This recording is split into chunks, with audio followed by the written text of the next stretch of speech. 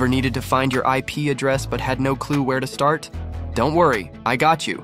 Here's how you can find yours in seconds. Your IP address is like your digital home address. It helps devices communicate online. You have a public IP, used on the internet, and a local IP for your home network. Now, let's find yours. On your iPhone, go to Settings, Wi-Fi. Then tap the I next to your network. Your IP is under IPv4 address. On your Android, go to Settings, Network and Internet. Internet.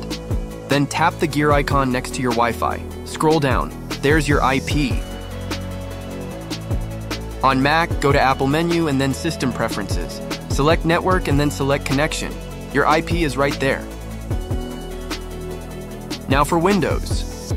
Go to Start menu, Settings, and then Network and Internet. Click on Properties under your Wi-Fi, and then find IPv4 address.